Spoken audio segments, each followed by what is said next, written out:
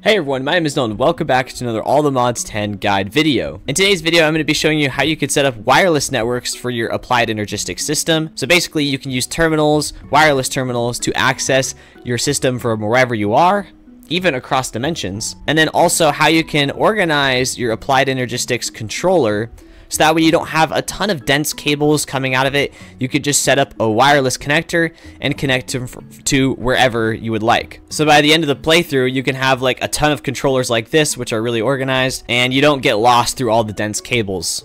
Okay, the first thing you're going to want to get is a matter condenser. As you can see, it's pretty cheap. For glass, some iron, and flux dust. Then go ahead and place it down on the ground. Next up, you're going to get these fluid pipes from the Pipez mod specifically because you can upgrade them to be really fast. And you're going to place one down on each of these sides and then connect sinks on all four of these ends. Get your configurator from the Mekanism mod and make sure that it is pulling from the sink and then right click on the pulling spot and add a ultimate pipe upgrade to each of these pipes. Okay, now get yourself a 256 storage component and place it into the matter condenser. Now from here you can do two things. You can instantly go to a matter ball generator, or you can go to a singularity generator, but it just takes a little bit more time. If time is of concern to you and you want to be generating a lot of singularities, what you can do is set up a reaction chamber. On top of the reaction chamber, place down a mechanical pipe, then have a one block gap between a block of dripstone and that mechanical pipe. Then place down an extractor. Now, on top of the dripstone, you're going to be placing lava, so have some blocks available to in order to contain that lava. Now, this generates lava pretty slowly, so if you guys don't have like an infinite lava source or a way of getting lava fast, you're going to want to expand this out by any amount. It doesn't really matter. Just to wherever you're getting a comfortable amount of lava per tick. Go ahead and put some acceleration cards in here, and then go ahead and connect it to some form of power. So this method is going to be faster than just generating straight singularities. However, it's going to take lava, and it's going to take a lot of power. So if you don't have an excess of both, just go ahead and stick to the slower method. But for now, I'm going to show you how you can do the faster method. Go ahead and take some item pipes and just throw them on over into the reaction chamber. So I'm going to make this matter balls, and as you can see, the matter balls are being thrown in here, and we are getting singularities way faster than if we just did it the other way. But again, we have to rely on lava. So for the sake of this video, we are not going to need this many singularities. However, down the road, you will end up needing a lot. But for now, we don't need that much. Okay, now you're going to need to place a tiny TNT on the ground. They're really easy to get. Throw two singularities next to the tiny TNT. And then two ender pearls next to the tiny TNT. And then go ahead and ignite it.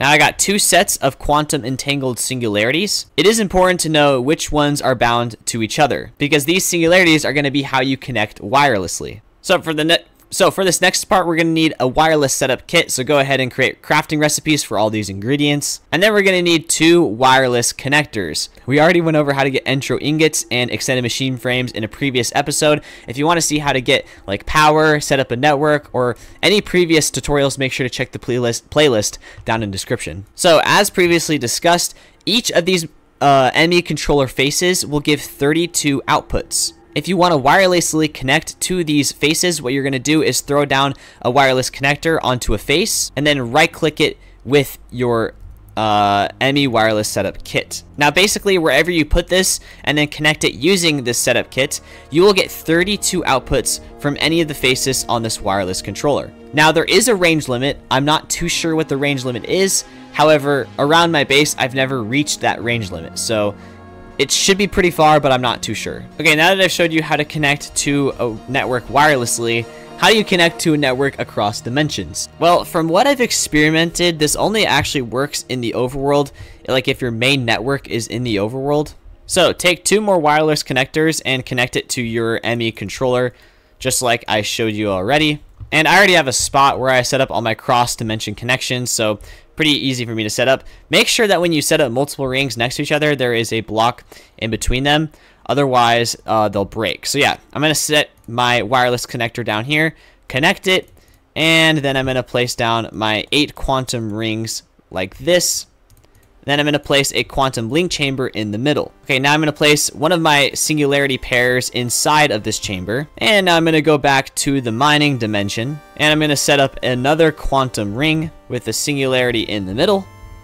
And if I place a singularity inside here, you can see the device comes online. and I can export the 32 channels from any of these four faces that touch the link chamber. Keep in mind that you don't get 32 per face, you get 32 total. So wherever you export from here, you will have 32 total channels. All right, now let's set up a wireless terminal. So inside of this network, I have these items. I got some iron, lapis, gold, and wood. So if I want to be able to access those from anywhere, we need to set up another quantum ring that somehow connects to the ME network. Now devices online, so I'm going to put the singularity inside of there. And I'm going to actually hope this works from setting this up in the mining dimension because I've only ever tried this from setting it up in the overworld. Now you need to set up a wireless access point.